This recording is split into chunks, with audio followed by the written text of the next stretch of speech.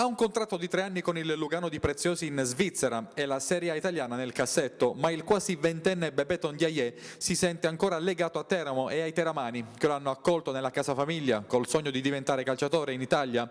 Ed allora oggi, pur vivendo una realtà calcistica diversa, che l'ha portato a realizzare una doppietta all'Inter in una amichevole di ottobre, il giocatore senegalese ha voluto fare chiarezza sulla vicenda che lo ha interessato tra Teramo e Giulianova nel 2009, perché a Teramo torna spesso, qui ha persone amiche e care e qui spesso sente ancora voci che riportano alla sua fuga a Giulianova.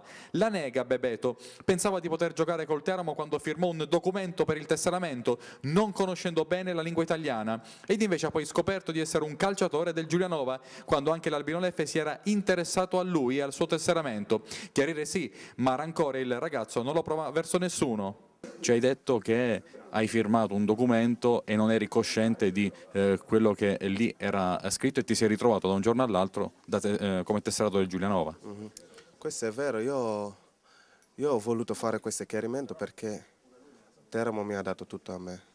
Io devo ringraziare tutte le persone che mi stanno vicino, vicino che sia Tonino, che sia chi si sia, pure Campitelli lo devo ringraziare perché lui mi ha dato la possibilità di essere giocatore, perché lui mi ha preso come un figlio e mi ha tra sempre trattato bene. Io ero un ragazzino, ragazzino non sapevo, sapevo, le cose come andavano, non parlavo bene italiano, avevo problemi per capire le cose.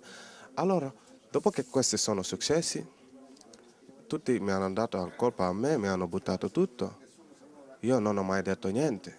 Io mi sono abbassato e ho cercato di lavorare. L'ultima invece sulla tua parentesi eh, giuliese sul tuo rapporto col presidente D'Agostino? Mm -hmm. oh, D'Agostino, il presidente D'Agostino dai, è brava persona, mi ha pure aiutato a diventare giocatore, ma verso la fine non, si, non andavamo d'accordo perché io sono una persona che io voglio le cose precise, o mi dici le cose precise o le lascia perdere, perché a me non voglio più che mi prendano in giro.